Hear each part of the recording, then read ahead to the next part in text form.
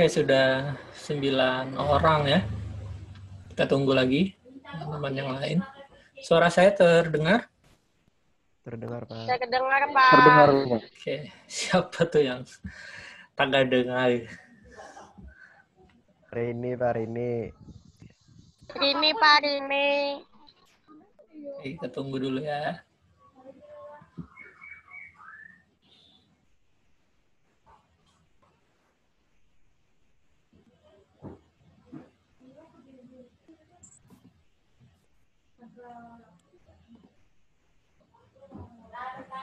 Oke, lebih menyenangkan Google Meet atau Zoom? Google Meet, Pak. Kenapa? Google Meet. Ya karena senang aja dengan Oh, Meet, gitu ya. Ya, ya, variasi saja ini. Nyoba-nyoba Zoom Pak. sayang kan kalau Prodi sudah beli tidak digunakan.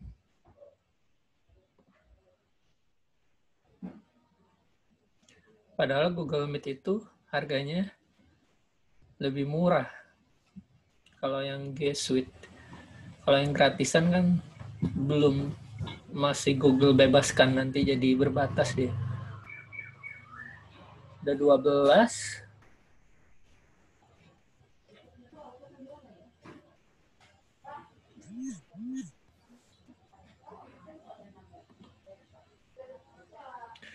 Kok enggak ada suaranya? Nur Uswatun Ramadhani. Ada suara saya?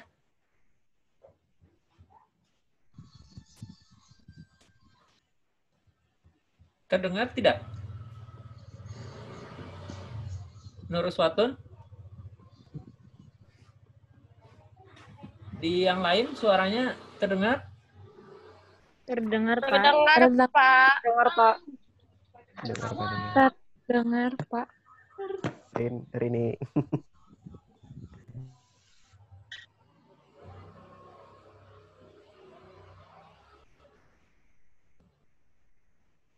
Kita tunggu dulu. Oh, baru bisa. Jaringannya mungkin ya.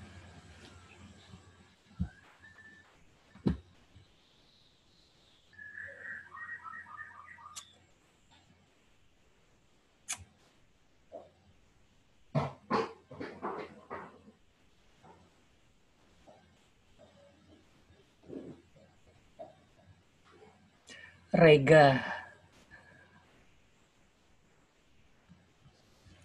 Kayak ada kesulitan mengerjakan tugas UTS?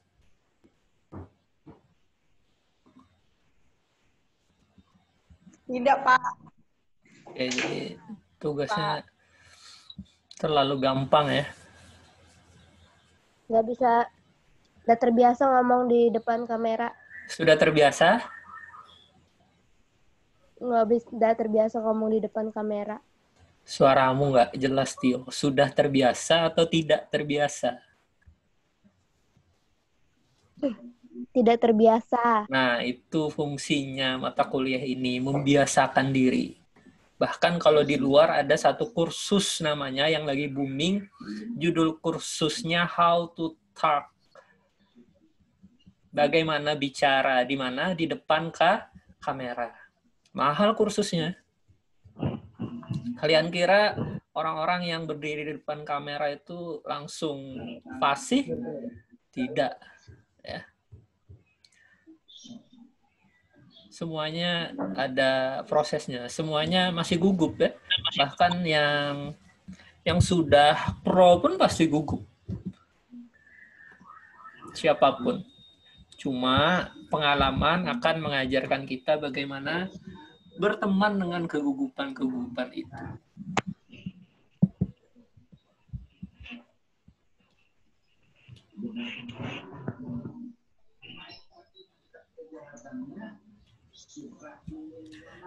Hari ini ada kuliah yang lain?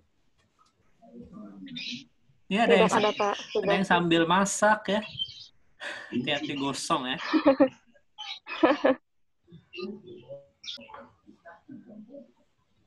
Tujuh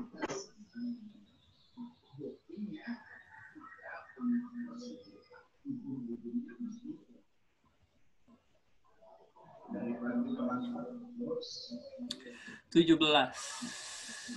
Tiga orang lagi berangkat nih. Dua puluh.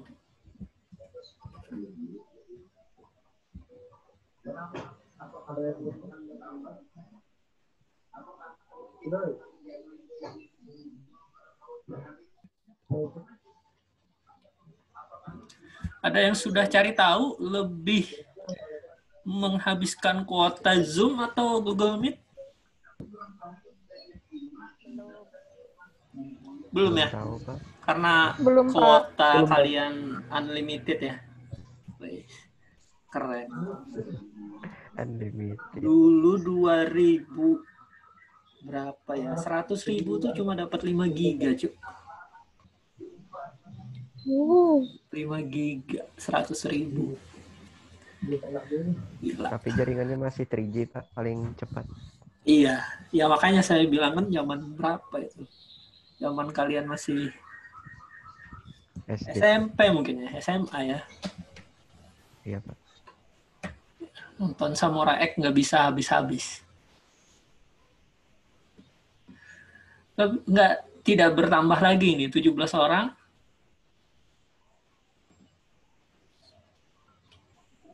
Baik ya, nanti kalau yang tidak hadir bisa menyimak rekamannya. Ya, kita mulai dulu. Assalamualaikum warahmatullahi wabarakatuh. Waalaikumsalam Waalaikumsalam warahmatullahi wabarakatuh Iya, suaranya pas atau terlalu nyaring, terlalu pas saja kecil? Pas, Pak. Oke, ya. Sedang. Tanda, yang pas itu sulit. Ya. Teman-teman, semoga selalu sehat dan kabar eh, baik atau kabar buruknya adalah kemarin saya baru membaca, mungkin suratnya sudah beberapa hari sebelumnya, surat keputusan dekan yang mendukung surat keputusan rektor bahwa dua bulan awal perkuliahan di semester depan tetap akan dilaksanakan secara daring. Dan dua bulan setelahnya itu akan melihat perkembangan. Jika pandeminya belum selesai, maka daringnya diteruskan. Jika pandeminya sudah bisa diajak berteman dan bersahabat, maka bisa luring. Nah, jadi eh, kita akan tetap bertemu secara virtual lebih lama lagi di luar PAT dan semester depannya. Entah ini menyenangkan atau tidak menyenangkan, tapi itulah kenyataannya. kenyataannya memang sering tidak sesuai harapan kita. Tapi begitulah hidup ya, sering tidak adil. Sama seperti perkuliahan ini, teman-teman. Tidak adilnya di mana, Pak? Karena Tuhan itu memberikan kemampuan kepada teman-teman itu berbeda-beda. Mengapa saya bahas ini, teman-teman? Saya akan memberikan feedback dulu terhadap tugas yang teman-teman telah kerjakan, terutama tugas mengenai blog. Ya, goblok, goblok, bukan goblok ya, blog ya. Uh, blog ini booming sekitar tahun 2008 ya, 2008 2009 dan setelah itu meredup setelah ditemukannya aplikasi-aplikasi pemutar video. Sebab blog dulu sangat populer ketika orang tidak bisa merekam dirinya sendiri sehingga orang merekam dan merepresentasikan dirinya lewat tulisan. Namun blog tetap bertahan. Mengapa? Karena memang uh, teks itu tidak pernah bisa dimatikan. Ya, sehafal-hafalnya orang Al-Qur'an orang pasti akan buka teksnya Misalnya, itu contoh sederhana bahwa teks tidak pernah bisa dimatikan. Sehebat-hebatnya teknologi e-book di 2020 ini, orang pasti tetap ke Gramedia untuk pegang bukunya. Sebab feel-nya itu berbeda. Melihat teks itu berbeda. Ya, jadi uh, blog juga akan tetap bertahan meskipun peminatnya tidak lagi seluar biasa tahun-tahun sebelumnya. Mengapa saya membuat dan menginginkan teman-teman untuk tetap bisa membuat, mendesain, memplanning sebuah blog dengan baik karena teman-teman penggunaan kuota untuk membuat blog itu jauh lebih sedikit daripada teman-teman harus mengunggah sebuah video misalnya. Dan blog ini menjadi sesuatu yang representatif sebab ketika video itu dibuat dan teman-teman melakukan kesalahan di tengah-tengahnya, itu ngeditnya itu luar biasa capek. Tapi kalau blog Anda tinggal edit teksnya, Anda post uh, ulang, selesai sudah. Nah, itu banyak eh, background-background yang mendasari bahwa pemahaman tentang blog itu sesuatu yang harus dipahami meskipun sudah 2020. Dan saya yakin di sekolah menengah atas, sekolah menengah pertama teman-teman sudah kenal dengan blog. Keyakinan itu saya terbukti gitu ya, terbukti ketika saya mengecek satu-satu blog teman-teman yang sudah eh, teman-teman kirimkan. Hanya satu linknya yang tidak saya bisa cek gitu ya mungkin bermasalah coba saya tampilkan ya.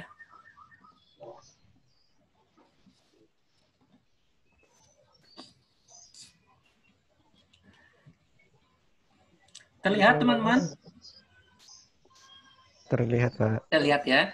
Yang turn yang turn in ini ini linknya bisa saya cek. Nah ada ada Mas Jati yang missing gitu mungkin memasukkan tapi tidak selesai atau bagaimana. Jadi nanti mohon dikirim ulang alamatnya. Jati ada? Ya Pak, baik Pak.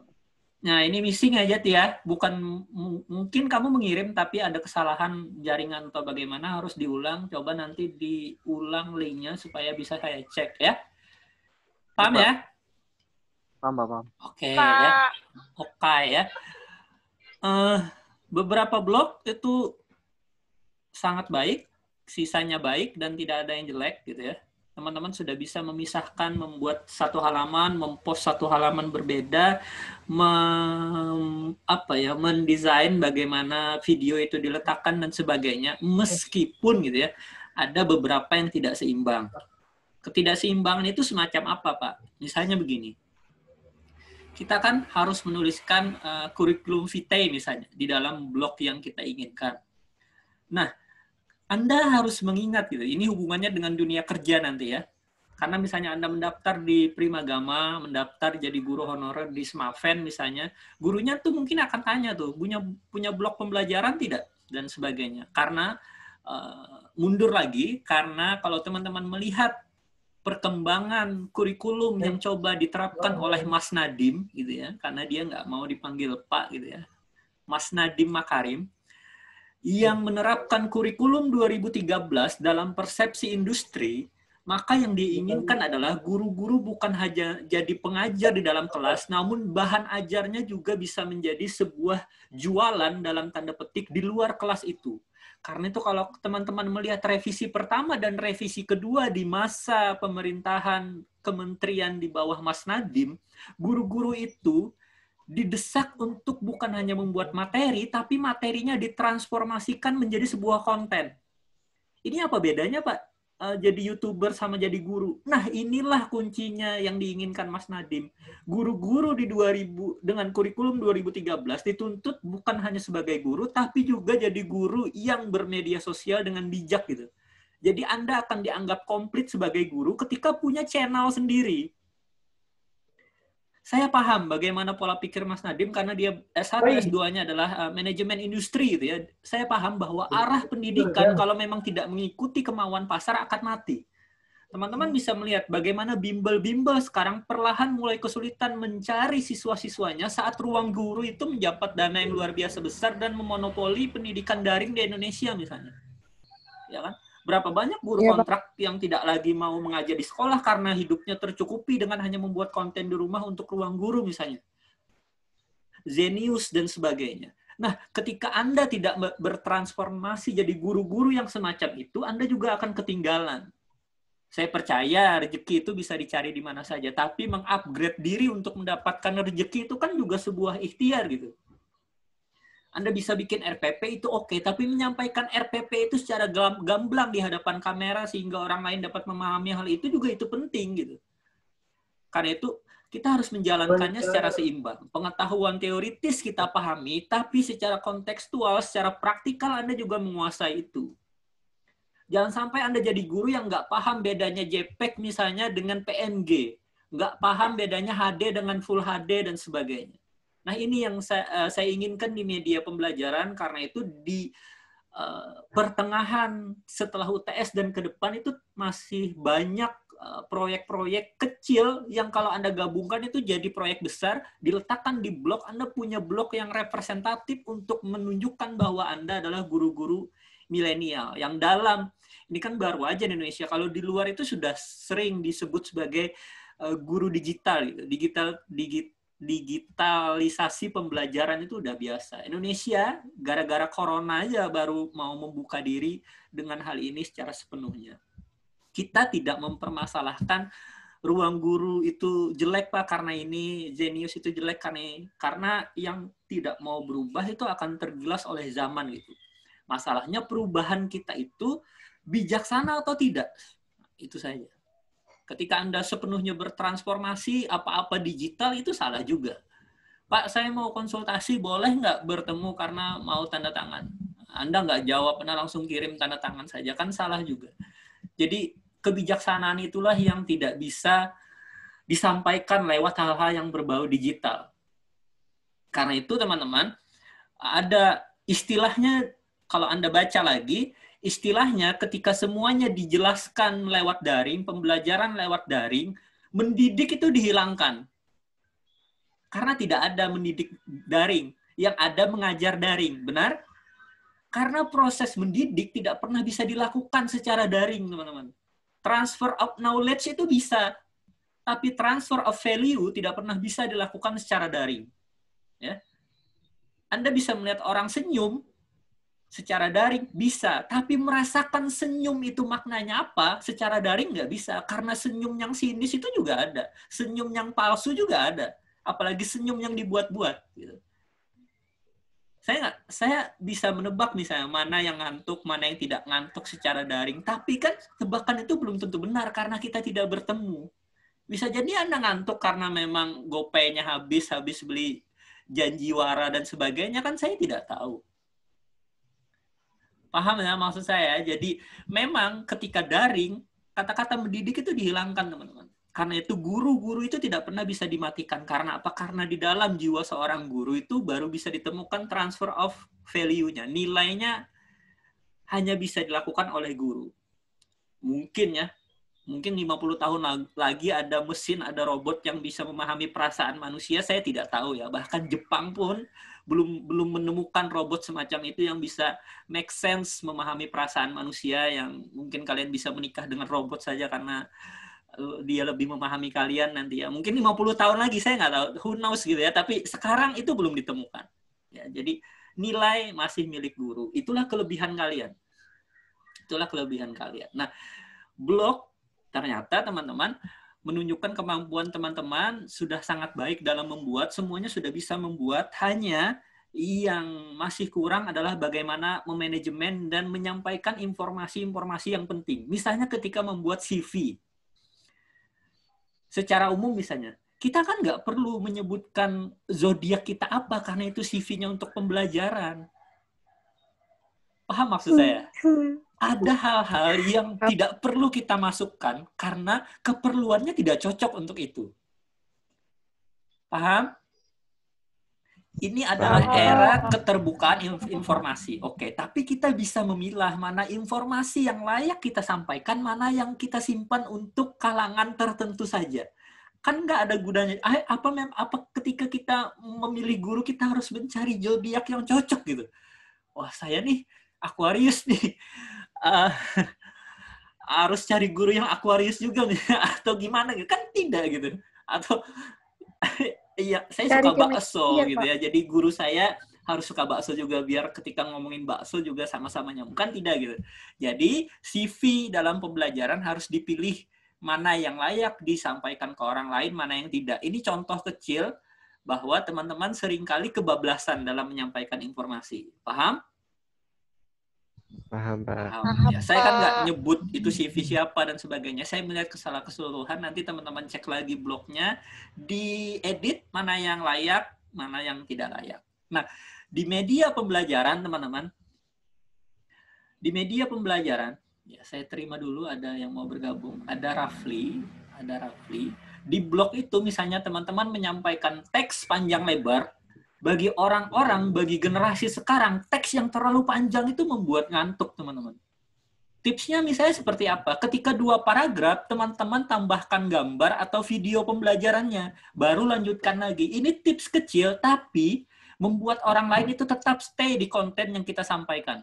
Karena orang ketika men-scroll isinya teks semua, orang akan close itu tab-nya. Ah, capek, teks semua. Tapi ketika orang scroll ke bawah, ketemu video, dia akan bertahan lebih lama. Meskipun dia tidak tertarik. Video apa nih? Paham maksud saya? Paham, Pak. Paham. gitu. Paham. Bayangkan sebuah blog gitu ya, tapi eh, desain temanya itu sembarangan. Yang penting keren gitu. Iya teman-teman, Anda suka pink, tapi nggak juga hurufnya pink. Maksud saya, ya kan? Anda rock red and, eh, rock and roll banget pak. Saya rocker banget pak. Pino G. Bastian banget pak. Konkret pokoknya. Tapi nggak juga backgroundnya misalnya tengkorak cuy. Ini pembelajaran. Sesuaikan. Nah kalau Anda mau backgroundnya tengkorak, bikin blog pribadi yang bisa Anda setting temanya semau Anda. Paham maksud saya? Paham, Pak. Paham, ya? Pak. Ya, saya paham. Anda Anda itu Blackpink banget misalnya, ini misalnya kan atau apa sih Korean drama banget, drakor banget, tapi nggak juga muka pemeran drakor kan yang Anda jadikan background maksud saya semacam itu. Oke, secara keseluruhan blognya bagus, feedback saya bagus dan teman-teman eh, memenuhi ekspektasi saya karena generasi Anda generasi yang sudah terbiasa dengan hal itu. Sekarang kita lanjutkan dengan materi hari ini. Ya, materi hari ini saya screen share dulu.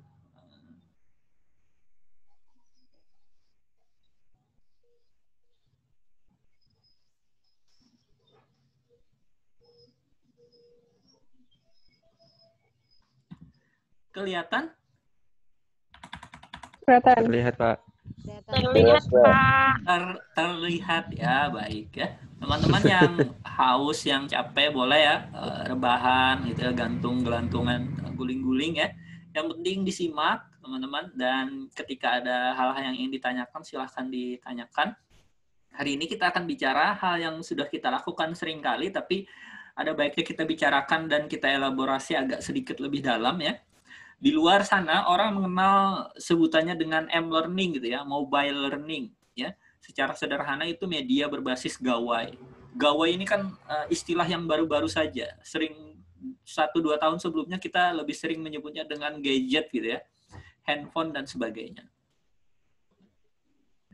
Sekarang pertanyaan saya silahkan dijawab ya. Silahkan dibuka mic-nya. Saya ingin pendapat teman-teman. Masih relevankah aturan yang intinya melarang penggunaan gawai di sekolah? Bagaimana pendapat teman-teman? Silahkan dijawab dulu.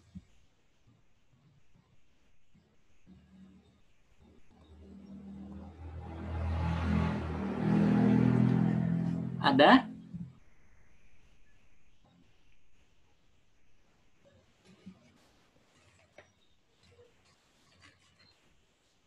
Menurut saya, Pak, Nama? aturannya sudah jadi Mas Hakim. Oke, silahkan. Jati. Eh, aturannya sudah tidak berlaku lagi, Pak. Apalagi saat masa-masa corona seperti ini, itu sudah tidak bisa apa namanya ditolak lagi meskipun pada em, pada akhirnya pandemi ini berakhir eh,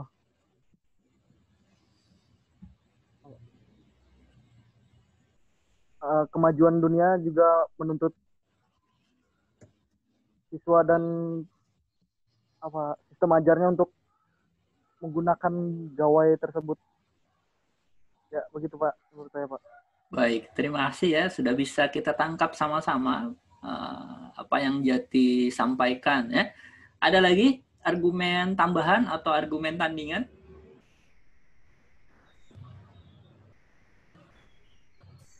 Atau saya tunjuk?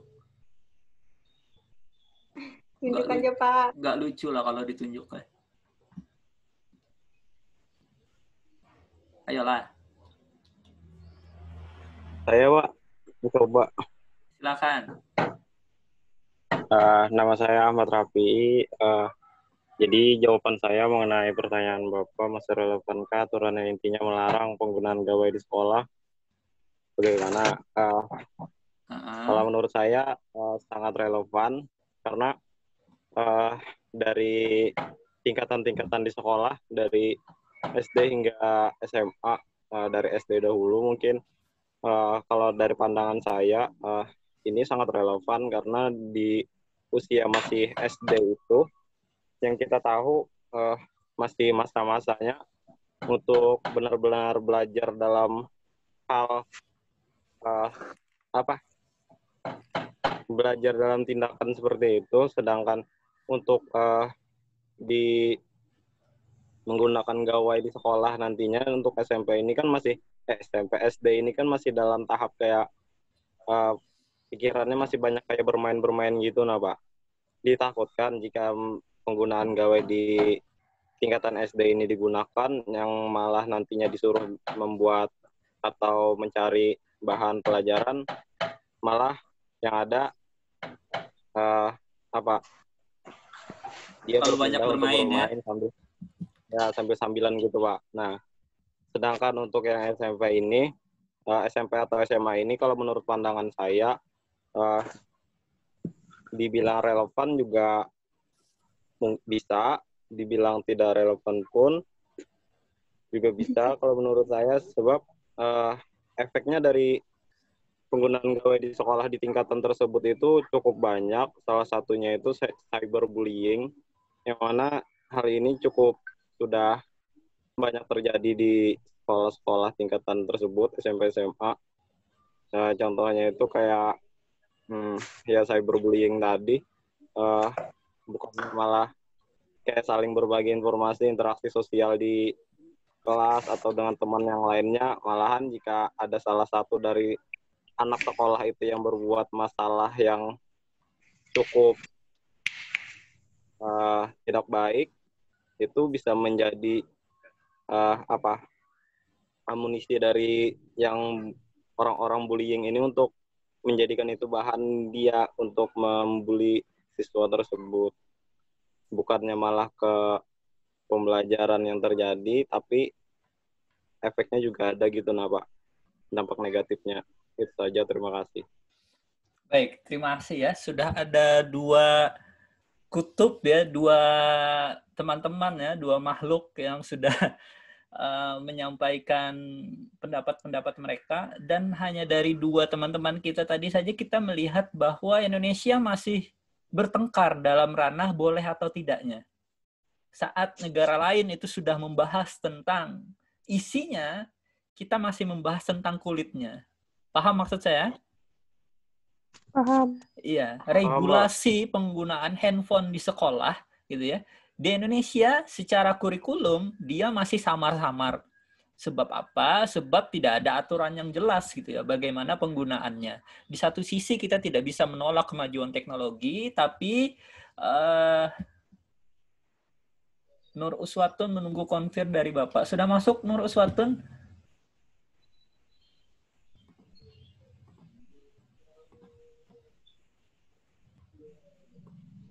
Ini ada yang mau masuk tapi tidak bisa kah?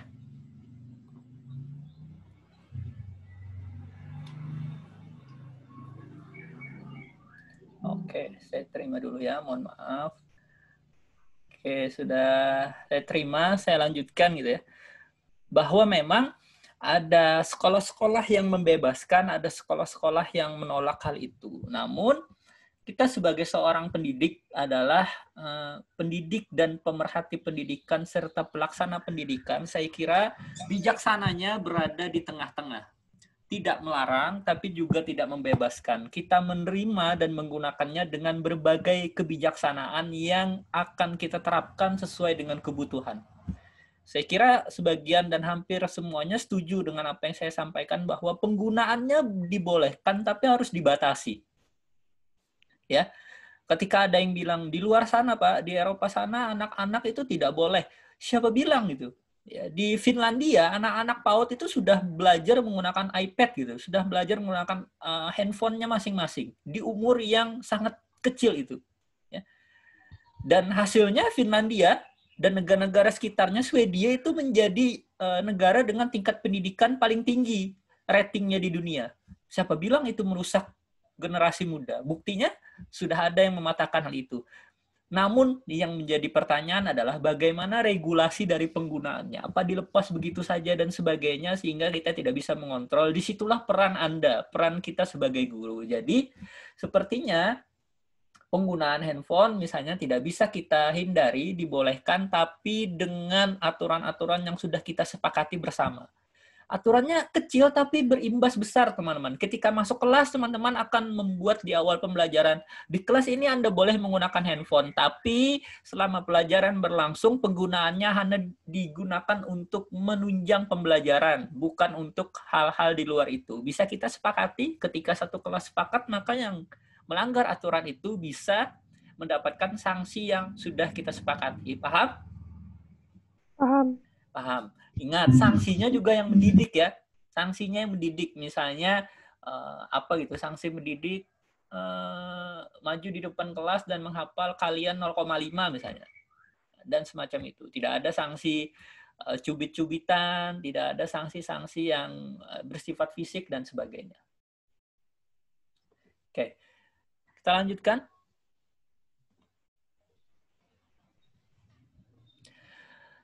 Bisa dibaca? Bisa, Bisa. Pak. Oke. Ini tidak untuk kita jawab sama-sama. Ini pertanyaan yang mari kita jawab sama-sama. Mari kita renungkan. Sudahkah kita mengenali semua gawai yang kita miliki? Sudahkah smartphone menjadikan kita manusia yang pintar? Sudah maksimalkah kita menggunakan potensi semua gadget yang kita miliki? Gitu ya. Silahkan diresapi sendiri gitu ya. Saya sering malu gitu, sering malu dengan laptop gitu karena punya laptop tapi nggak terlalu banyak menulis, punya handphone tapi tidak terlalu banyak informasi dan sebagainya. Semoga dengan malu-malu itu, dengan uh, perasaan malu yang kita miliki melihat gadget yang kita miliki itu memacu kita untuk jadi lebih baik. Gitu. Uh, coba dihitung, ada ada yang punya gadget lebih dari tiga? Standarnya dua ya. Satu. Ada yang cuma satu, handphone saja. Saya satu, Satu Pak. Oke, handphone. Satu. Memang beberapa handphone sudah bisa menggantikan fungsi laptop gitu ya. Tapi eh, menurut saya di satu sa- di satu titik nanti teman-teman eh, semoga kesampaian punya laptop juga dan punya handphone juga. Karena ngetik misalnya sebuah tugas di eh, handphone dengan ketikan yang banyak agak menyulitkan dibanding dengan laptop. Nah, jadi mungkin laptop dan handphone itu eh, yang dasar baru nanti setelah punya bisa menambah dengan hal-hal lain. Tapi mungkin ada teman-teman yang mungkin gadgetnya lebih dari tiga mungkin, ya kan? dan 4. Nah, yang semacam ini pertanyaannya tepat, sudah maksimalkah kita menggunakannya? Ya, mungkin ada yang punya tablet, ada yang punya e-book reader, ada yang punya uh, PS4, PS5 belum keluar sebentar lagi dan sebagainya. Nah, itu kan kita nggak tahu. Gadgetnya makin banyak dan makin membingungkan. Oke, kita lanjutkan. Nah, seberapa besar sudah teman-teman bertransformasi menjadi guru-guru digital? Masalahnya teman-teman, ketika kita bertransformasinya itu lambat, di luar sana calon siswa-siswa kita itu tidak perlu bertransformasi. Mengapa? Sebab mereka lahir sudah jadi manusia digital. Ya. Kalau dulu kita lahir itu ditimang aja selesai. Kalau sekarang kalau nggak difoto, nggak di video itu nggak sahih. Iya kan? Era saya atau era teman-teman itu mungkin nggak punya foto di bawah satu tahun karena kamera susah. Kalau sekarang umur satu minggu udah masuk studio foto, ya kan?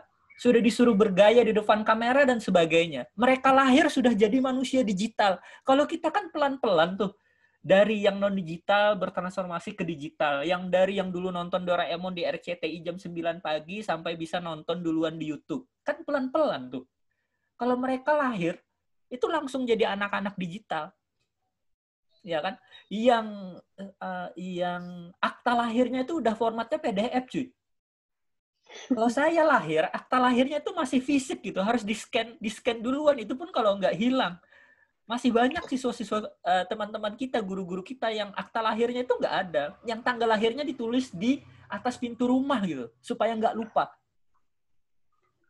Mereka lahir udah punya uh, akta lahir yang sifatnya digital. Bayangkan kalau Anda tidak berubah, Anda akan menghadapi anak-anak yang sudah digital gitu. Anda masuk kelas, mereka akan langsung tanya, Bu, channel YouTube-nya apa gitu misalnya.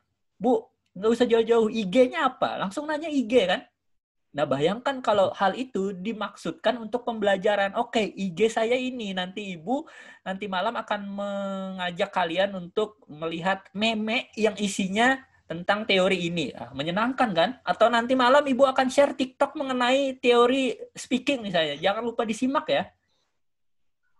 Itu nggak bisa dihindari teman-teman karena anak-anak kita siswa-siswa kita mainannya itu. Ya kan? Saya nggak bisa, saya nggak suka misalnya apa TikTok, tapi siswa-siswa saya, mahasiswa saya suka. Saya harus tahu itu fungsinya apa. Bisa nggak diganti dengan aplikasi lain? Bisa nggak diganti dengan YouTube dan sebagainya? Bisa nggak itu diarahkan ke pembelajaran? Bisa kan? Tergantung apa? Tergantung kreativitas.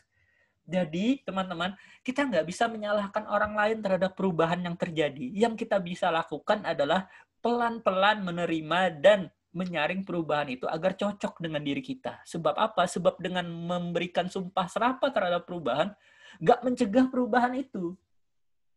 Emang teman-teman ada yang bisa beli YouTube yang harganya triliun uh, triliunan dolar itu kan nggak bisa. Ya kalau nggak bisa menghentikan itu maka masuklah itu, masuklah standing with giant dalam uh, pepatah bahasa Inggris. Kalau Anda nggak bisa mengalahkan Goliat, mengalahkan orang yang besar, maka berdirilah di sampingnya. Supaya apa? Supaya ketika dia ikut besar, Anda juga ikut besar. Ya, Anda buat channel YouTube saya, tapi arahkan ke hal-hal yang Anda inginkan. Jangan Anda ikut larut gitu, tiba-tiba ikut prank gitu. Ikut prank pura-pura meninggal, misalnya pura-pura corona dan sebagainya. Padahal Anda calon pendidik. Itu maksud saya. Arahkan semua itu ke hal-hal yang positif. Paham ya? Paham, Pak. Oke. Ya. M-learning itu sederhananya adalah proses pembelajaran yang memanfaatkan teknologi dan perangkat mobile. Mobile gitu ya.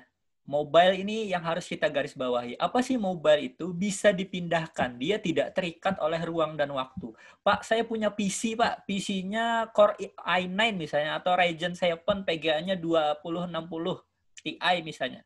Secanggih apa pun PC Anda, itu nggak mobile. Karena Anda ke mana-mana nggak mungkin angkut PC dan angkut monitor. Paham maksud saya? Ya, jadi mobile ini yang penting. Mobile ini, teman-teman, uh, memang kejam. Kejamnya apa? semakin kecil dan semakin banyak fiturnya, semakin mahal. Kalau sapi, teman-teman, makin ganal itu ya, makin larang. Kalau handphone tidak. Dia makin kecil, makin tinggi prosesornya, makin tinggi RAM-nya, makin kecil. Makin halus, makin larang. Ya, beda misalnya kita bicara tablet dan sebagainya. Nah, ini kejamnya kita harus menebus semua fitur itu, semua kecanggihan itu dengan apa? Dengan sejumlah uang. Nah, semoga saja uh, apa ya? Teman-teman menemukan jalan untuk meraih hal itu semua, bisa jadi ikut satu lomba hadiahnya handphone, misalnya jadi ikut undian hadiahnya handphone dan sebagainya, kan tidak tahu. Tapi ketika memiliki handphone yang sifat mobilnya itu luar biasa, maka gunakanlah untuk pembelajaran. Di dalam penggunaan handphone dan semua pembelajaran ada dua aspek besar, teman-teman. Yang pertama sinkronis dan yang kedua asinkronis Sinkronis itu artinya bahwa kita bertemu, kita pakai Zoom ini sinkronis, teman-teman. Saya bisa melihat teman-teman, teman-teman bisa melihat saya. Tapi ketika videonya nanti saya letakkan di YouTube dan yang tidak bergabung hari ini menonton pembelajaran kita, video itu jadi asinkronis. Dia menonton kita tapi tidak dalam waktu dan tempat yang sinkron. Paham maksudnya? Paham, paham. Paham ya? Sinkron itu di satu waktu yang sama, tidak sinkron itu materinya sama tapi dinikmati di waktu berbeda. Anda nonton YouTube itu yang live itu sinkron, tapi yang video biasa itu tidak sinkronis. Itu yang pertama. Yang kedua misalnya dalam dunia digital itu banyak hal bisa Anda gunakan. Masalahnya ada hak cipta di sana. Sering kan dengar orang dituntut gara-gara ini, video YouTube-nya di take down gara-gara ini dan sebagainya dan sebagainya. Nah, gara-gara apa? Karena dia tidak paham dengan hak cipta. Ya. Misalnya, teman-teman nanti harus memahami hak cipta ini harus ikro sendiri ya karena ada banyak penjelasannya. Saya harap teman-teman memahami itu. Misalnya nih, saya tanya, saya menggunakan film dalam video YouTube saya untuk menjelaskan satu hal, boleh tidak? Film orang lain. Boleh tidak? Tidak. Boleh tidak? Siapa yang jawab tadi? Siapa yang jawab tadi? Jati, Pak. Jati. Boleh tidak Jati? Tidak. Tidak boleh. Ada lagi jawaban lain? Ya, Jati sudah jawab tidak. Saya akan jawab boleh. Ya. Sudah dibeli, Pak. Oke. Okay. Sudah uh, sudah milik satu orang gitu ya hak ciptanya itu argumen jati. Ada lagi argumen tandingan?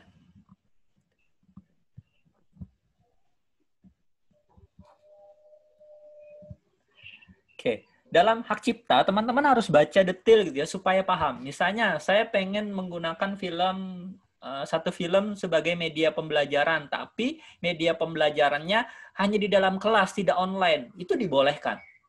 Misalnya dibolehkan karena tidak disimak secara luas dan hanya digunakan dalam satu kelas yang tidak menghasilkan uh, tidak menghasilkan apa sih maksudnya tidak menghasilkan potensi untuk menghasilkan keuntungan maksudnya tidak dijual lagi dan sebagainya itu boleh teman-teman nah ketika film hmm. itu saya unggah lagi ke YouTube misalnya saya aktifkan adsense-nya itu malah itu yang nggak boleh gitu misalnya hmm. tapi ada juga namanya sisi Creative Commons gitu ya, bahwa film itu boleh saya potong, saya gunakan di YouTube tidak lebih dari 9 menit. Tidak lebih dari 9 menit. Karena kalau lebih dari 9 menit, video itu akan di take down dan dianggap melanggar hak cipta. Logikanya apa? Film itu kan dua jam. Kalau nonton cuma 9 menit, paham tidak dari awal sampai endingnya? Enggak kan? Enggak sampai kan? Nah, itu maksudnya. Jadi YouTube memperbolehkan Anda memotong film orang lain selama tidak lebih dari 9 menit. Asal di kreditnya, di ending, di teks di bawahnya dituliskan ini dipotong dari film ini, dari menit ini ke sini. Anda nggak akan di take down. Dari mana pengetahuan itu bisa kita dapat? Dari membaca hak cipta. Aturan-aturan hak cipta. Paham? Paham. Nah, itu. Jadi guru pun harus memahami, teman-teman, aturan-aturan hak cipta. Nggak bisa tiba-tiba langsung, eh itu plagiat tuh, itu lagunya mirip sama ini, itu lagunya mirip sama ini. Ya kan kita nggak tahu. lagu itu lebih sulit teman-teman ya. Anda bisa hanya mengatakan sebuah lagu plagiat misalnya kalau dalam sembilan tangga nada dia sama misalnya. Nah, kita harus lihat dulu tangga nada tangga nada. Anda Anda baca not aja beli betan apalagi lihat tangga nada misalnya. Langsung nuduh orang lain plagiat. Itu maksud saya, hati-hati dalam berargumentasi. Paham? Paham. Ya, baca blog, oh ini karya Hamka plagiat, dasar Hamka plagiat. Anda baca novelnya aja kada. Ini plagiat Laila and Majnun, baca kada? Kada. Lagunya Noah, plagiatnya Kian yang ini. Dengar lagunya nggak? Enggak. Itu masalahnya. Manusia Indonesia itu suka gagap gitu. Apa yang orang lain sampaikan akan yes gitu, akan yes selama dia akan uh, merasa baik dengan mengatakan yes gitu. Itu maksud saya. Anda harus paham dulu aturan-aturan mengenai hak cipta. Fungsi learning ada tiga, suplemen, komplement, dan substitusi. Suplemen dia fungsinya tambahan saja. Anda hadir juga, tapi ada tambahan lain menggunakan handphone. Komplement dia uh, sesuatu yang sifatnya 50-50 gitu. Anda tanpa handphone tidak bisa selesai, misalnya. Contohnya seperti apa? Saya mengajar secara luring, tapi UTS atau UASnya itu daring. Nah, itu komplement. Kenapa? Karena nggak bisa selesai kalau UTS-nya tidak dikerjakan. Kalau substitusi yang seperti sekarang ini kita kayaknya lebih ke substitusi, teman-teman.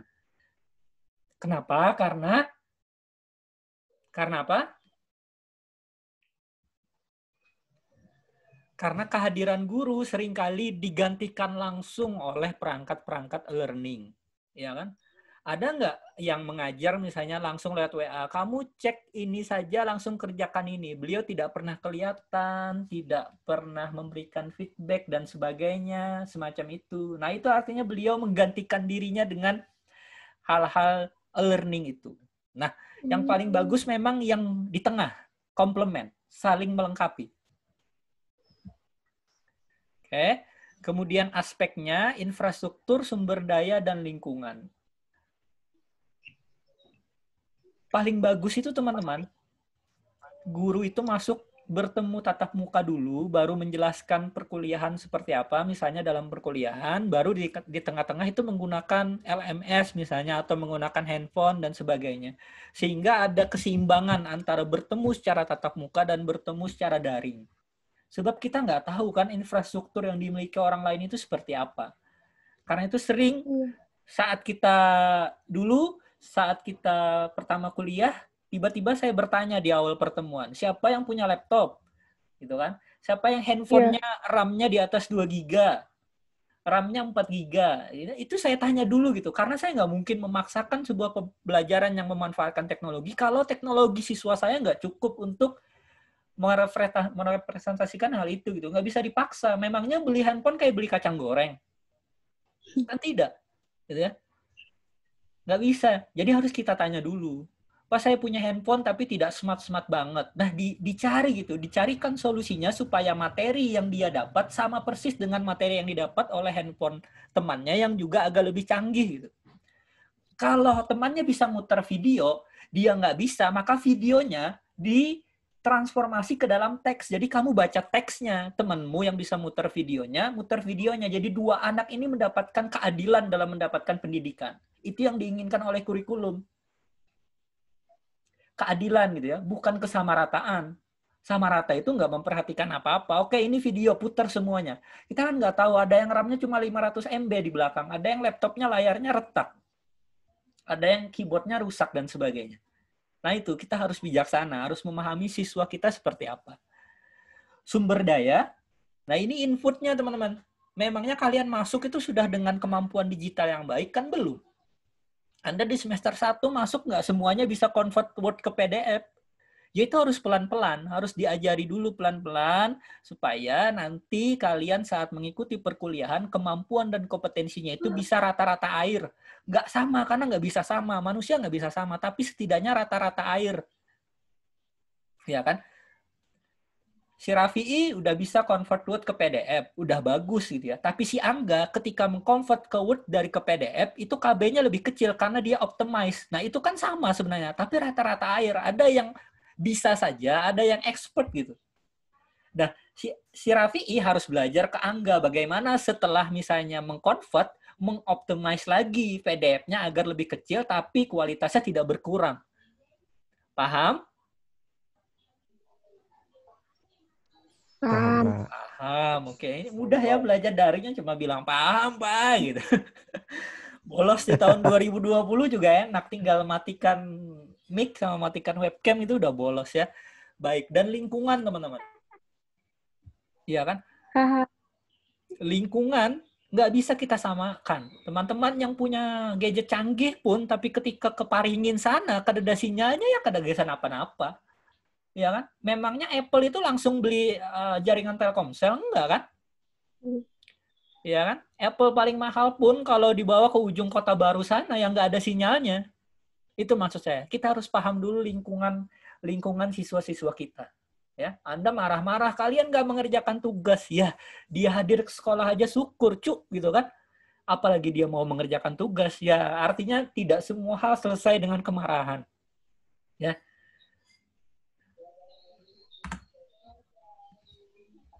Saya lanjutkan.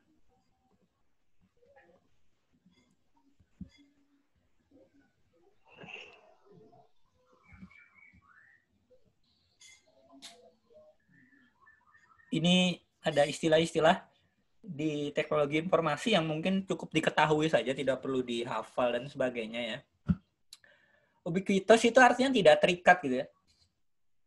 Sebenarnya ketika video ini di-share nanti teman-teman bisa belajar nanti pukul satu malam, pukul 2 malam, terserah. Ini seperti YouTube ya, Anda bisa nonton YouTube pagi, siang, sore, malam, ya terserah. Apalagi dia ditujukan untuk pem- pembelajaran gitu ya. Yang kedua, bite size ya. Sadar nggak eh, kalian ini anak-anak digital batasan fokusnya itu rendah. Mungkin kalau 30 menit baca buku itu ngantuk atau bahkan sudah ketiduran. Tapi senior-senior kita itu bite size otaknya itu tinggi, teman-teman. Dia bisa baca buku sekali duduk itu 100 halaman. Anda lima halaman aja kuap-kuap sudah. Kenapa? Karena memang generasi-generasi digital itu biasanya terbiasa menangkap informasi yang singkat tapi sering. Karena Anda kan anak-anak iklan.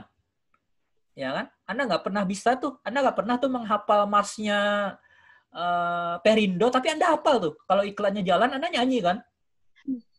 Tapi kita nggak pernah menghafal itu. Nah itu anak-anak digital. Singkat-singkat aja, tapi dia tiba-tiba hafal. Kalau orang dulu nggak bisa.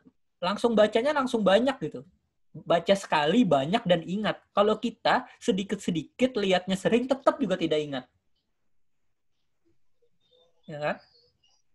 Itu. Otak kita seperti itu. Yang kedua on demand gitu ya, sesuai kebutuhan. On demand itu teman-teman, kalau teman-teman ngambil sebuah kursus gitu ya, langsung disediakan 12 pertemuan. Teman-teman boleh milih mau ngambil materi tengah dulu atau materi akhir dulu atau ikut dari awal sampai akhir. Itu karakteristiknya sama seperti nonton film. Ada kan orang-orang yang suka sebelum nonton film itu lihat judulnya, diputar dulu gitu kan, baru langsung kursornya diakhirkan ke akhir. Endingnya gimana nih? Belum ditonton dia nyari endingnya.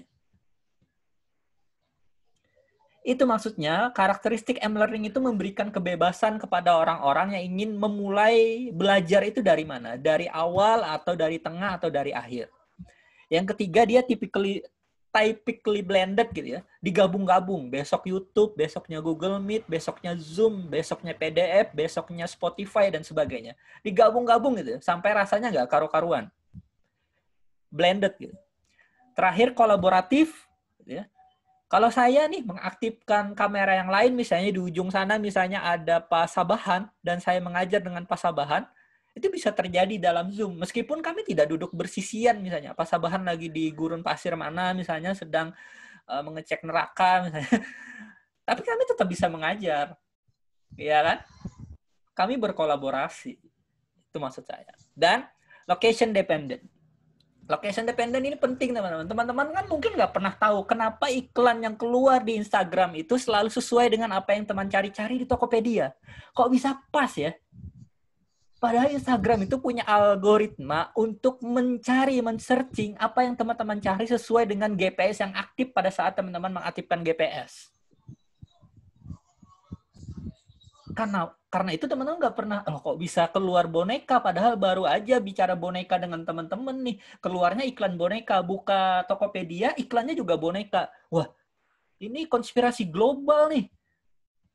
Ya kan? Illuminati nih padahal anda cuma nggak tahu aja itu ada ada ada software kecil yang diaktifkan oleh Instagram untuk memperhatikan bagaimana pola kita saat menggunakan handphone, teman-teman. Karena itu iklan yang keluar di Instagram saya, misalnya beda dengan di Instagram teman-teman. Itu yang dimaksudkan dengan location dependent, tergantung lokasi. Dia memanfaatkan big data. Ya. Di handphone teman-teman masuk terus tuh apa info mengenai pemasangan IndiHome karena di daerah teman-teman IndiHome sudah masuk, nggak pernah kan masuk Excel Home misalnya atau Tree Home karena memang jaringannya nggak pernah ada, belum ada di daerah teman-teman karena itu iklannya nggak masuk. Iklannya itu disebarkan menurut uh, tangkapan GPS yang ada di handphone kita. Itu maksudnya. Oke. Secara garis besar ada smartphone yang kita miliki sama-sama, kemudian ada digital phone atau tablet, kemudian ada perangkat non telepon. Perangkat non telepon itu seperti apa, Pak? Dulu dan sekarang masih ada, bahkan penggemar-penggemar audio masih menggunakan. Tahu MP3 player ya, yang kecil itu? Nah, itu perangkat non telepon gitu, bisa muter uh, musik tapi tanpa terhubung ke jaringan. Itu contohnya. Ya. Pengetahuan perangkat keras dan pengetahuan perangkat lunak itu harus teman-teman pahami. Jangan sampai handphonenya lebih pintar daripada orangnya. Itu saja. Anda nggak tahu misalnya handphone yang Anda miliki itu bisa sampai seperti apa. Mungkin teman-teman di sini tidak tahu kemampuan handphone yang kalian miliki itu merekam suara itu kbps-nya maksimal berapa. Ada yang tahu? Ada yang pernah ngecek? Tidak, Pak. Nah, itu masalahnya. Kita nggak pernah tahu. Mungkin kebanyakan cuma tahu itu ya, kualitas kamera ya. Kameranya sampai 48 megapiksel. Itu saja nggak tahu misalnya megapikselnya dengan kualitas apa, pakai pixelated yang seperti apa, bikubik yang seperti apa. Karena ada ada handphone-handphone yang misalnya pixelnya hanya 12 tapi dikalikan 4 sehingga dia bisa mengaku sebagai 48 megapiksel misalnya. Anda nggak pernah tahu. Yang penting beli gitu. Nah itu maksud saya. Jangan sampai Anda nggak tahu alat-alat powerful yang sebenarnya Anda miliki. kendala m-learning nanti hal ini teman-teman sudah kita alami bersama. Kendala yang teman-teman ikuti saat kita belajar daring sepertinya adalah kendala m-learning, jaringan, ketidakmampuan gadget mengikuti perkuliahan, semangat yang naik turun, motivasi yang hilang, dan sebagainya. Sadar nggak bahwa ketika kuliah ketemu teman-teman itu motivasinya beda dengan kuliah secara daring? Secara psikologis kan beda tuh.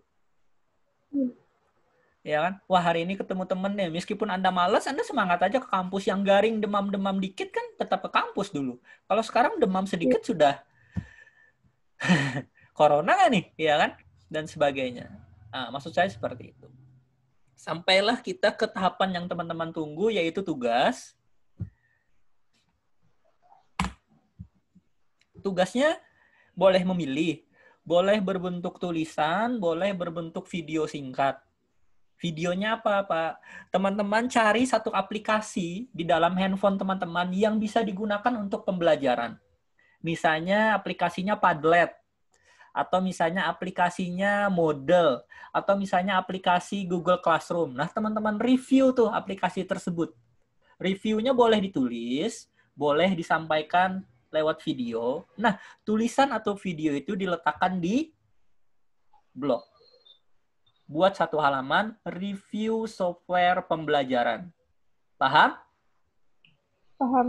Paham. Ya, silahkan dikerjakan sampai satu hari sebelum daring, sebelum Selasa minggu depan. Ada pertanyaan mengenai tugas ini?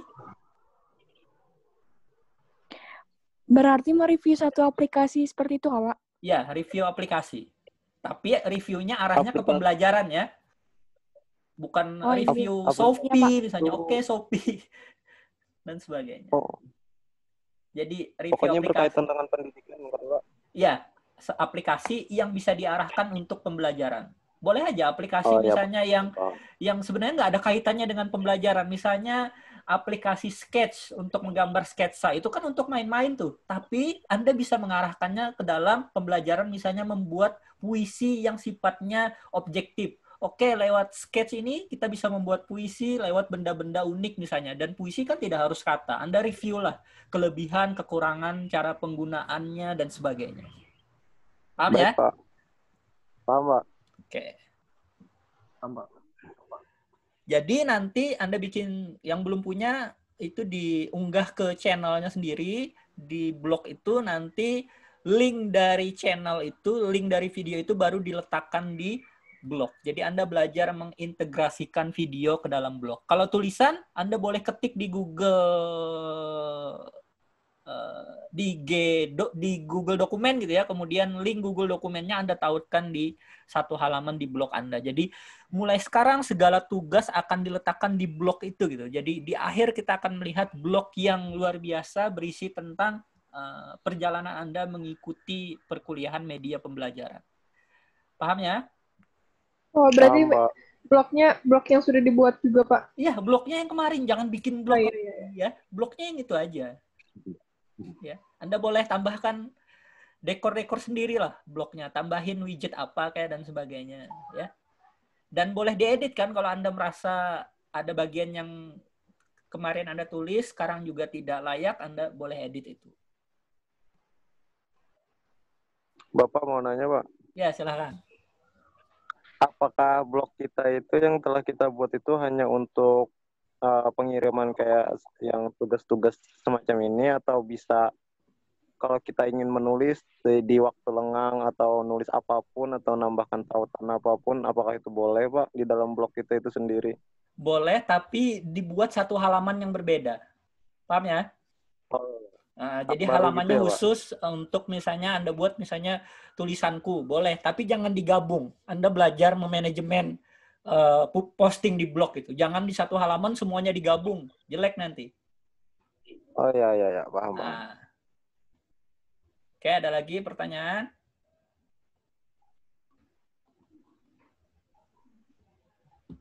Sudah terbayang ya gimana nanti blognya akan begitu kacaunya.